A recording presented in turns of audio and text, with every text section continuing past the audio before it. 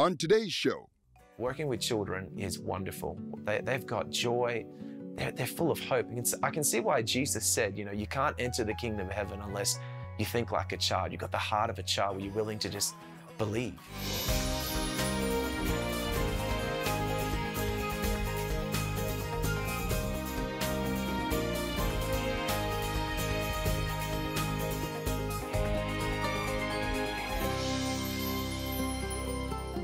To the 700 Club Canada. I'm Lorie Hartshorn. and I'm Brian Warren, and we are happy that you've joined us today.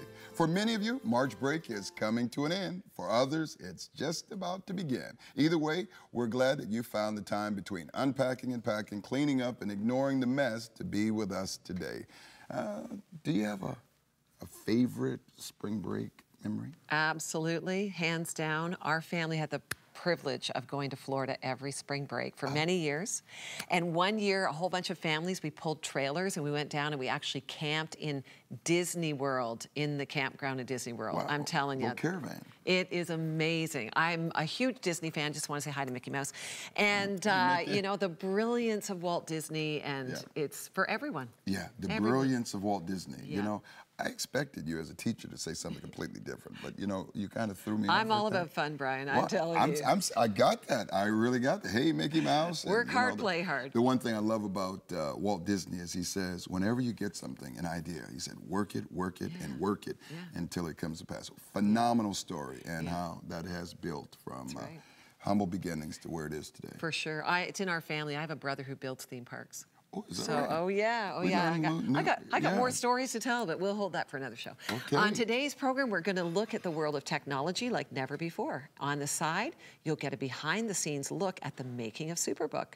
We'll see what goes into writing each episode. It's amazing. I gotta start asking you more questions.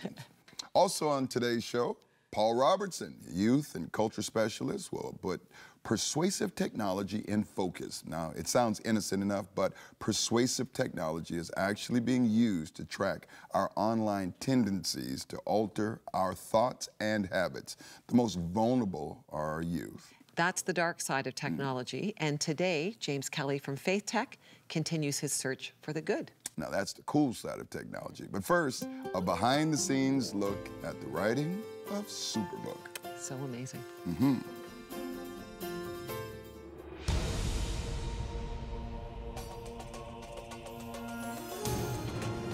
I am Sean Gaffney, and I am one of the writers of Superbook.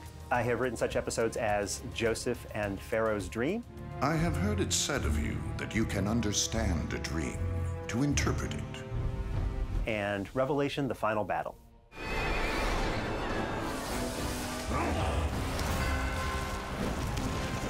Begone, Satan! Our goal at Superbook is to introduce the Bible and biblical truths to the children of the world.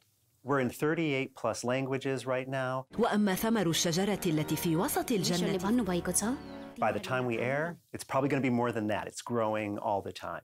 A temptation that some people get when they're writing for children is to try to make it childish for them. We don't water down the Bible. Another interesting uh, challenge that comes with Superbook is we are taking history. We're taking real people uh, in real time, and we're having them interact with fictional characters, with Chris and Joy and a robot. Joseph, I got it. What you need is an A number one plan. A plan to get you out of here. We have an entire team at Superbook of biblical experts, archaeology experts, history experts who go through our episodes and make sure that we're not violating who the character is. There are a lot of writers on Superbook, and it actually, the stories don't start with the writer. They actually start with Gordon Robertson and his team going through and figuring out which stories do we want to tell. The most challenging, the most fun, and the most rewarding episode I have worked on is Revelation. It's such a, a rich, complex book. It's so huge. The heart of the episode is can you really be forgiven? Can you ever forgive me? And Chris finding out that not only can he be, the work has already been done, the battle has already been won. It was a fantastic episode to work on, and, and the way that the episode was realized, I couldn't be prouder of it. when we create, for, for those of us who are writers, for our artists, our model for creation, of course, is God. We were made in the image of a creator. It's hovering over the story. And for me, that means prayer. Letting the Spirit speak to me. I'm trying to get out of the way as much as possible so that the hovering can take place. Everybody said he couldn't do it, but he did it with God's help. I've worked on a lot of different kinds of projects, and, and this one is, is unique in that my hopes are too small for where God's taking this.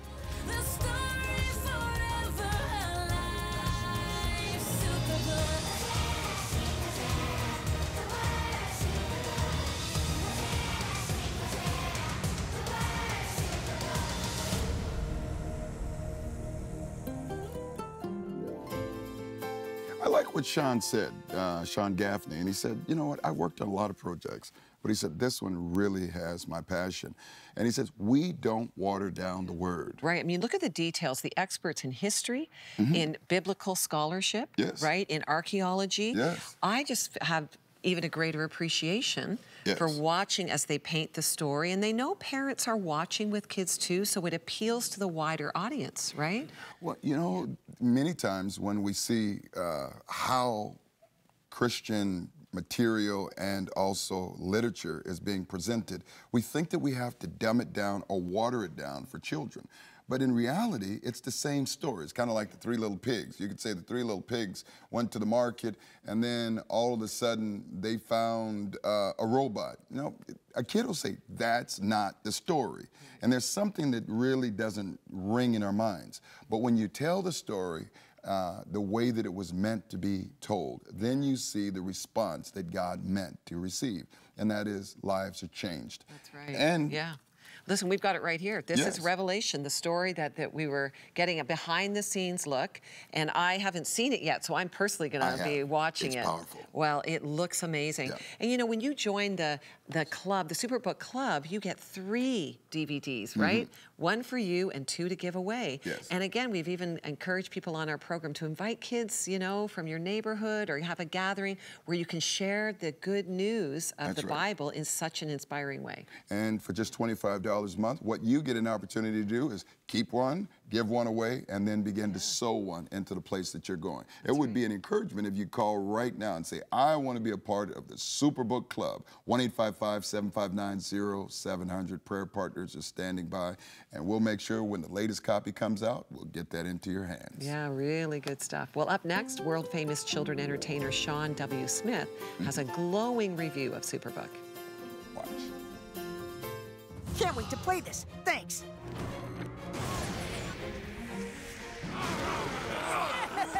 This Easter from Superbook, Giz, it's just a game. Yes, the kind your parents have told you not to play. God will show you a way out, even when you're tempted. You're not allowed to play that game. It's no big deal, Joy. Join the Superbook Club and get Superbook's newest episode, Jesus in the Wilderness, plus two copies to share with others, all for your gift of only $25. And as a bonus, receive the Superbook Easter Double Feature, which includes The Last Supper, He is Risen, a family discussion guide, and much, much more. I will give them all to you if you will worship me. Satan is tempting him to defy his father. Not test the Lord your God. Join the Superbook Club today, and for a limited time, receive the Easter Double Feature, which includes The Last Supper and He is Risen, as our way of saying thanks. Superbook Club members free streaming for seasons 1, 2, and 3 is now available.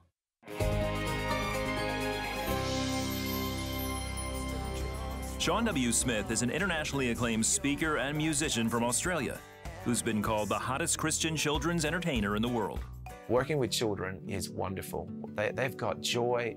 They're, they're full of hope. It's- I can see why Jesus said, you know, you can't enter the kingdom of heaven unless you think like a child. You've got the heart of a child where you're willing to just believe. Last year, this world renowned entertainer began including excerpts from CBN's Superbook in his appearances. I just love Superbook from my kids and our family.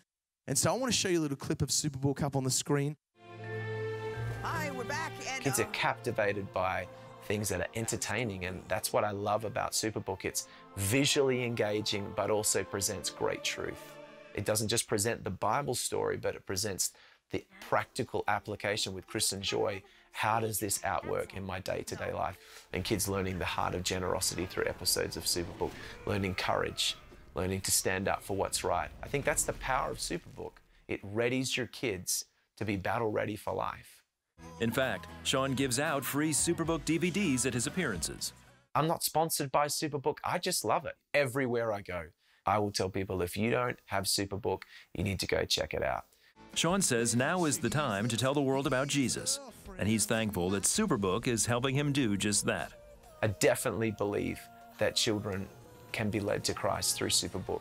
We did a couple of big outreaches and we went into many public schools and we had hundreds and hundreds of families come and, and we were able to give every family that made a decision to say yes to Jesus to give them a copy of Superbook. I want to thank the partners of Superbook for investing. Thank you for all the people that work hard. Thank you for the people that have a spirit of excellence.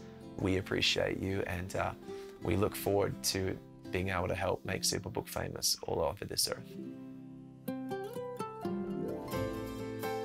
You know, that's very powerful. When you think about we change, we keep everything the same except with the two kids and a robot. But at the same time, we will take a little bit of liberty by having that sacrifice at night and looking at a new day. And talking about Abraham, you know, most people don't even know who Abram is, Abraham, and where that comes from. But when you begin to understand that we are in the blessing of Abraham, we're no, no longer under the curse of Adam when we come into Jesus Christ, but we begin to now come into that blessing that he says in Genesis 12 I will bless those who bless you, I'll curse those who curse you. And he says, All the nations of the world will be blessed through you. Now, that's the blessing of Abraham. And how do children understand that? The same way adults do, by not only seeing it, seeing it, and hearing it, and hearing it over and over again, but beginning to understand that this is a promise that God has made us. And because God makes covenant, and that means God makes promises, He does not break the promise. Isn't that beautiful? And therefore, you know, I encourage you. I know with, with our church and the children that are in our Kidsville, we love Superbook because it does help us not only tell the story in a, in a very powerful way with uh, great uh, uh, animation, but it also, when you join the Superbook DVD Club, you get all of the class material and some other things as well, and games and, and beautiful things to help you tell the story of Jesus Christ in a very now way. If you haven't joined, 1 855 759 0700, prayer partners are standing by. And uh, check the app out. You will not be disappointed. Up next, can technology save lives? Faith Tech James Kelly seeks to find the answer. Don't go away. Daddy? Yeah, buddy. How many nickels are in a dollar? There are 20 nickels in a dollar. How do birds fly?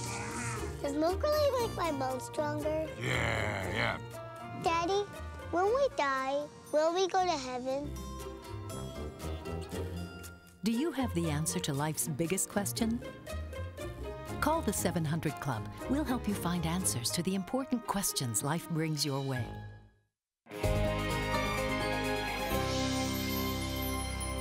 Can technology save lives? Here in Canada, over 8,000 people a month now are searching this phrase in Google how to kill yourself. And the top search result is seven easy, painless ways to kill yourself. That's disgusting. That's horrible. Here's what's crazy though. About two years ago, a small team got together. They heard about this and they said, We're going to do something. So they did something simple. They bought the domain howtokillyourself.org. But instead of going on their website and finding here's how to do it, they have three simple words at the top. You're not alone. Man, that's amazing. Now, fast forward a year later, one of the developers on the team, she comes and says, James, I, I gotta chat with you. I'm thinking, you know, what's the matter? She says, last night I'm out for coffee with my friend. I start describing the website, the fonts, the colors, everything that I was creating. And my friend just stopped in her tracks. She grabbed my arm and she said, what is the domain of that website? And she said, howtokillyourself.org. The friend just started crying. The night before, she went online to figure out how to kill herself. And she said, I ended up on that website and that site saved my life. That's unbelievable. When could a website actually help save someone's life? It's completely changed the paradigm in my thinking.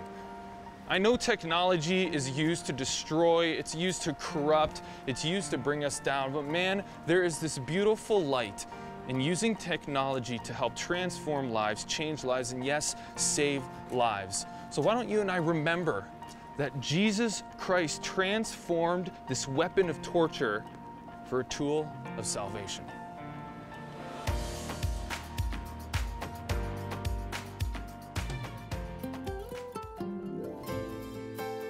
Yeah, that's a great question, but also a great response from James Kelly, Faith Tech. Thank you, James. You know, uh, depends on depends on whose hands it's in. That's so true. And you know what? I love that we get to do what we're doing right now because we Yes. are actually leveraging technology That's with right. the good news of the gospel. That's right. That's what we have to be in the mission of, of taking the technology that we have and utilizing it to proclaim the message of Christ and the message of hope, just like he told it that story. 100%. was And, I- and I think what we really have to understand is it's a tool. Yeah. And uh, like anything else, money is a tool.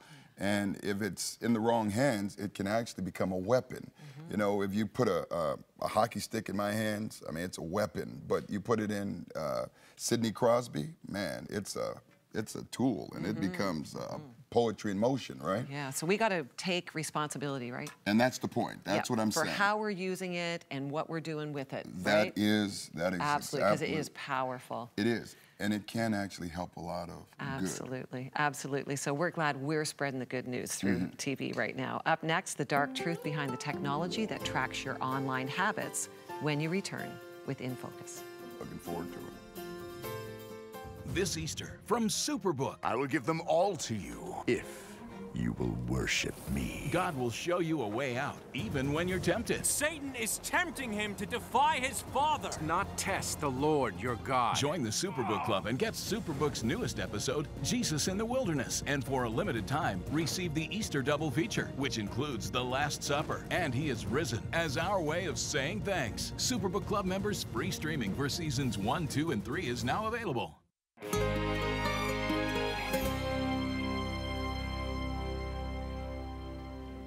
Well, welcome to In Focus. Are you aware that every time you look at Facebook or you search the web, technology developers are building a persuasive profile based on your online habits?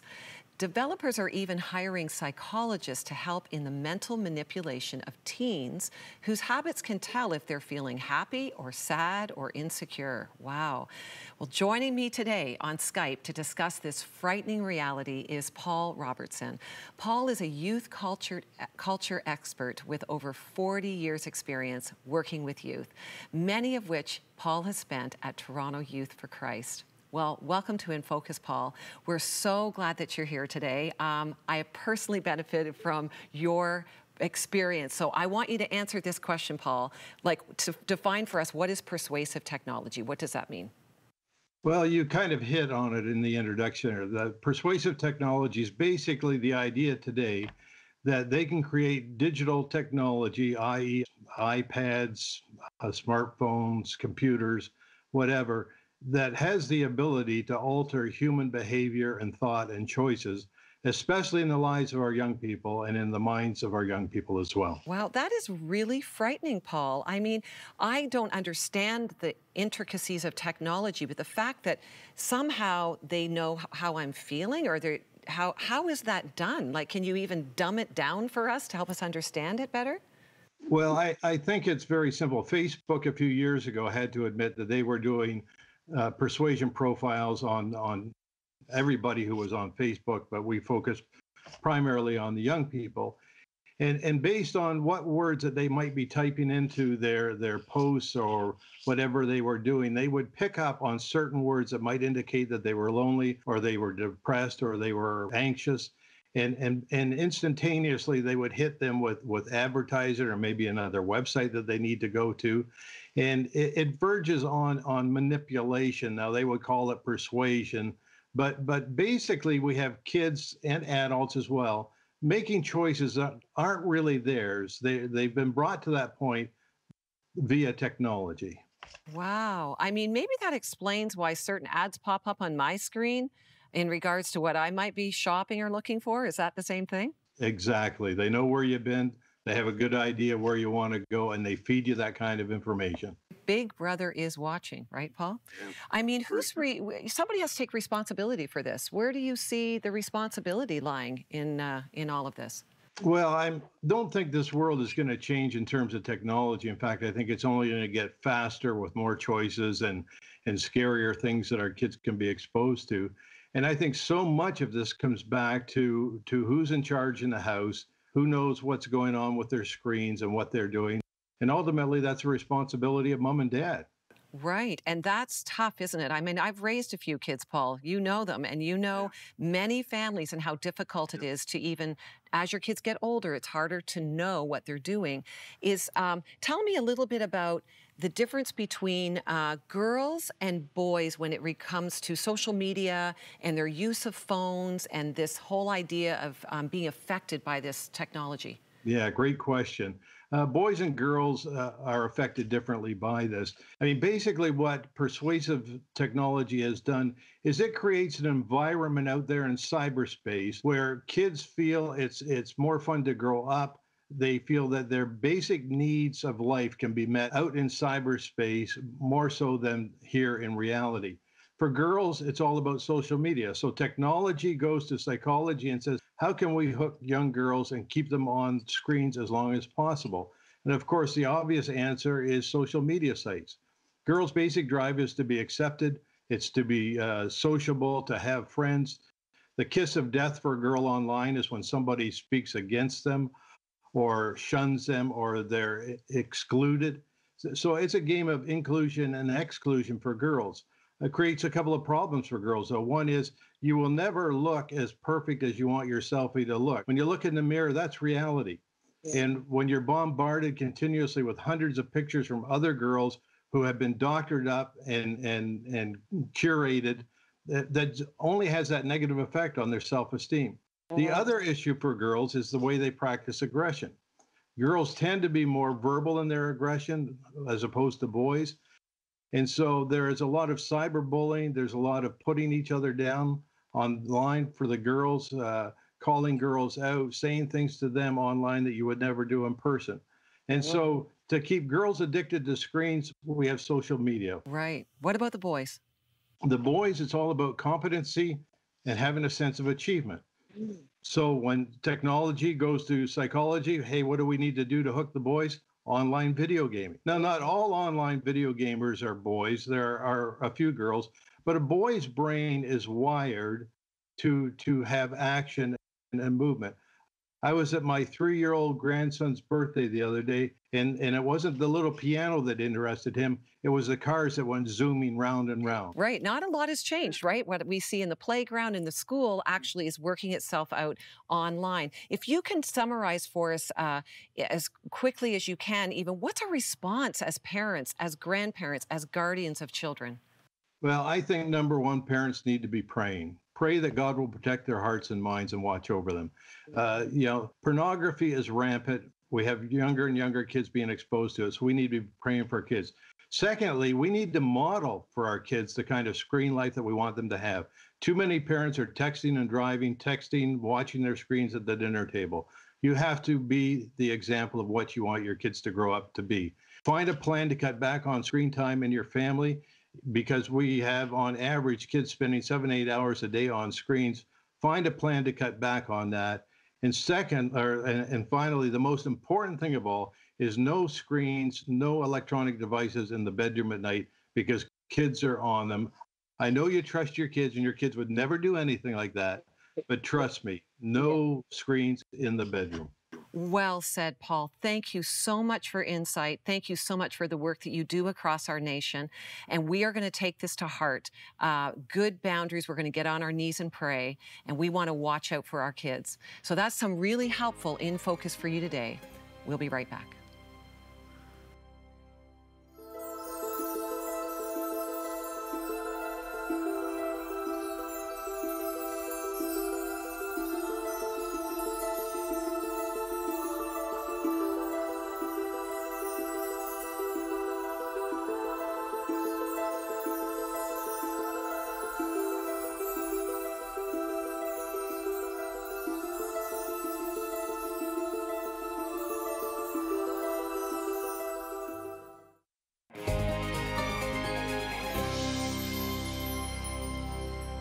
Lorie, I really appreciated your interview with Paul Robertson, you know, and uh, when we look at the program, there seems to be a common theme between this. Starting off with Disney.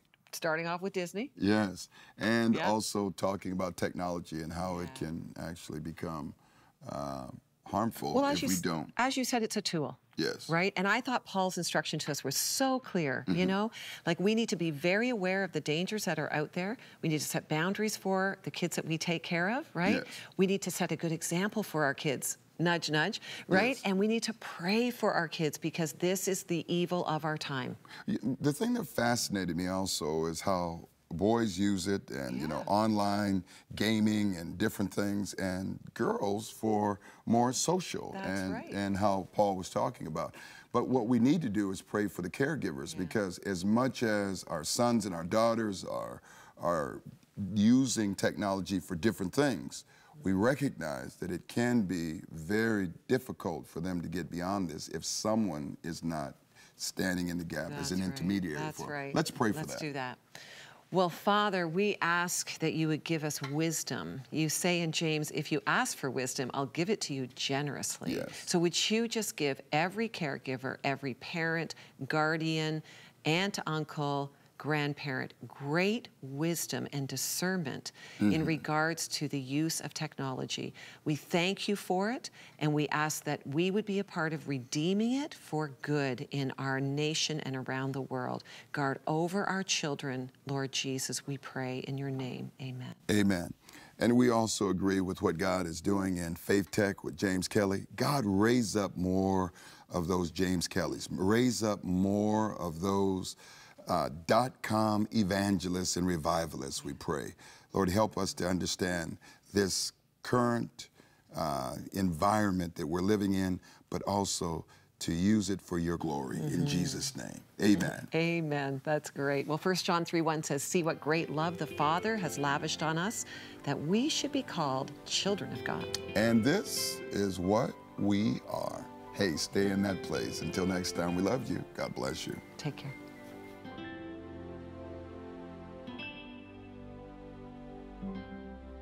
To contact us, phone 1 855 759 0700. You can email us at cba at 700club.ca. You can now like us on Facebook and follow us on Twitter or Instagram. Next week on the 700 Club Canada. What if it's actually seeing a sign? And there's only one sign that's a female in the 12, and that's Virgo. And Virgo becomes very crucial to understanding the time of Jesus' birth. I talk about that in the book. And it's one of those things where you look back and you say, there's no way this is accidental. God loves us on purpose. He does things with purpose and for purpose.